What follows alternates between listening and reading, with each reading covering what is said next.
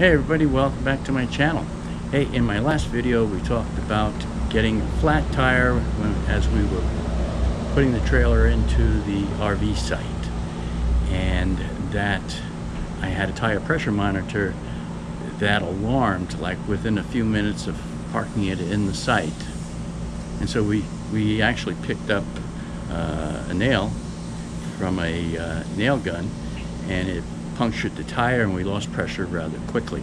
This has happened to us before, but this last time, the tire pressure monitor that I recently installed alerted me to the fact that I lost a lot of pressure. Went from 75 psi down to 40 in just like a, a minute or two. And so it goes into an alarm. So it let me know that I lost a lot of air that was a big plus because I knew right away now that I had a problem. The last time I didn't have a tire pressure monitor and I didn't know that I picked up a nail and that the tire went flat until we went to leave. It's because the jacks lift the trailer up and take the, a lot of the weight off of the wheels and so the tire stayed round until I pulled up the jacks and then uh, the tire you can see was uh, flat. So Today I'm going to talk about the tire pressure monitor system that I installed and I did it extremely cheaply uh, for 40 bucks. So stay tuned, don't go away. Alright, so believe it or not, I went to Camping World and they have a clearance section and it said 75% off of the clearance price that was already marked on the packages. So I came across this. Now this is for single axle trailer. This is only two transmitters. This is made by Tire Minder. But it's normally like a hundred and something dollars. With 75% off the clearance price, I got these for 20 bucks each. I mean, it was just totally amazing. 20 bucks each. Uh, so they they had three packages left of them and so I bought all three. I was thinking that perhaps I could combine two of the kits together to get four four tire monitoring because if you look you can see the display is capable of displaying four tire pressures but there's only two transmitters to come with it. Turns out this bundle here is uh, specific for Camping World. But there's nothing special about the display or the transmitters because they're exactly the same as the, the ones that are for two axles instead of one. But this is packaged for uh, single axle trailers. So I got that. Here's the other one. I stole uh, tire pressure uh, transmitters uh, off of it. So still got, so I got a backup display on here. The other one is mounted in the uh, truck and it comes with the display, the two tire transmitters, and a booster. You have to use the booster with it. So uh, otherwise it's not gonna, gonna work. So I bought all three. Like I said, I couldn't pass it up for 20 bucks. If, if it wasn't gonna work out, I figure, okay, I can always get my money back plus some by reselling. Either way, I figured I was not going to lose on this deal. So, Camping World. Wow, I was just shocked that you could get such a deal. So, I before ripping into the packages, I went on Tire Minder's website and uh, in there there was a, an area where you could ask questions uh, by sending an email. Click on the link. I typed in my info and what uh, model tire minder that we had. So I, it, I mean, I read on the back here, it says 0 to 70 PSI. So that was one question, actually two questions on that particular email. Can this system read beyond 70 PSI? And uh, is it a problem for the transmitters if you do go beyond that? Um, that it's they're not going to leak or blow up or anything like that. And within a couple of hours of my sending the email to them, they sent me an email back saying, yeah, it's okay. They said the reason they say that is because pressures vary quite a bit and that their display only displays two digits, not three. So if the pressure were to climb over over the 100 psi mark, it will start displaying 01, 02, 03 psi instead of 102, 103 psi. They said that's the only reason they label it that way. So, and it's not a problem for me. My pressures aren't going to hit 100 psi or over, even when it's hot out. But uh, if it does display 02, 03, you know that you went past 100 psi. So, no big deal. So they said, um, so that was okay. Then it dawned on me, I forgot to ask the question, um, can it, uh, can you take two kits and combine them basically? Uh, can I take the transmitters, the two transmitters from one of the other kits, same model, and pair it up to uh, this unit so I can now monitor four tires. And so I sent another email to them and they, within a couple hours, sent right back saying, oh yeah, there's a learning mode. You set it to learning mode, put on the, uh, the new transmitters, and all should be good. So that's what I did. It was easy putting them into learning mode, and now I display all four pressures and temperatures of the tires too, which is important. Um, so now I can keep an eye on it. And so the total cost, I mean, $20 a unit, I bought three, so I spent $60 plus tax. But really the cost is $40 because I still have a complete kit for a single axle. Yeah, this one not even open. Seals are not broken. 20 bucks. Unbelievable. You're not going to find a deal like that online or anywhere else. Amazon sells them, um, not with just two transmitters though, but with four for double axle or for uh, four wheels on a vehicle.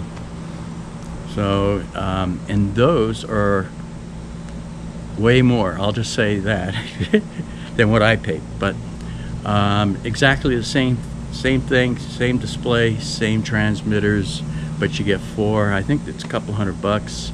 You can get it on Amazon.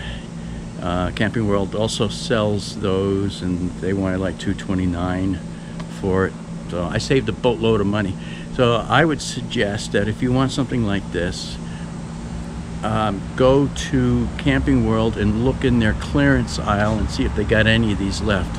I've been looking around and I found more at another place except for they were selling them for 30, like $35 a piece. Still, still a good deal, but not as good as what I got. So every once in a while you can find a good deal. Okay, now as far as installing it, real easy. Just screw the transmitters right on the valve stem, the display, um, single side or double sided tape. You just stick it up on the windshield. Here's the other great thing it's completely wireless, not even any wires to supply power because it has uh, solar cells on the side that, that goes up on the window. So, uh, sun power charges the batteries. Awesome. But that booster that's in the kit and it comes with uh, wires with alligator clips on it and so you can clip it onto the batteries on your on your rig um, my batteries are up in the front in in uh, in there um, I just I, I didn't screw it in or anything I just laid it down inside the basement there and put the alligator clips right onto the battery and uh, and it works just fine. Green light comes on. Once the green light goes steady, it means it's receiving and sending signals from the transmitters. So real easy. Don't have to wire anything in. Just two alligator clips and the booster uh, will power right up. The uh, it I tried it without the booster and the system won't work properly at all without it because the booster besides increasing the signal strength um, so you can reach from the front where the the front of the truck back to where the wheels are because um, that's a pretty good distance this it also says only like this it shouldn't be any more than 25 or 30 feet uh, from the transmitter to those uh, transmitters. Well, I'm way more than that, and with the booster, it works perfectly. So the booster boosts the signal, and it also filters out any kind of interference. Um, so that's definitely, you have to hook that part up. Easy peasy. All right, so here's the uh, monitor, just the uh, display, this uh, like color forms, this cover, this comes off to reveal the display. It shows battery level and then when it's charging up here. So it's good. Three buttons to control it with. And then here's the other side. So you got the double-sided tape. Just peel off the uh, the backing, stick it up on the windshield, and that's it as far as mounting it. And uh, th this area here is the solar panel. And that keeps the battery charged. Now with the transmitters, it's pretty awesome. With those transmitters, it, it, they give you batteries. They're the little lithium flat batteries that go in there to power them up and they should last about six months. And then they give you spare batteries as well. So when those poop out, you can put new batteries in. So your first year is covered. So figure about six months and then you got to change the batteries out. Uh, in this box here, so once you get it out, there's the batteries in this tray. Uh, a charging cable for USB if you need to do it. This is a little tool with some nuts in there to secure the tire monitors, uh, the tire pressure transmitters in place. Uh, makes it a little more difficult for somebody to unscrew them and steal them, but I didn't bother uh, dealing with that. And then this here is the transmitter and with a pretty long cable it's about six or eight feet long with alligator clips just clip it onto your house batteries no soldering or anything involved and then spare double-sided tape for in case you mess up somehow or want to move the monitor so spare batteries cool and then tie wraps if you want to dress the uh, dress up the wiring from the booster. Here again, no problem. I just laid it in the basement and and it works fine. They say, you know, don't put it in the basement. That it, it this can actually go outside somewhere.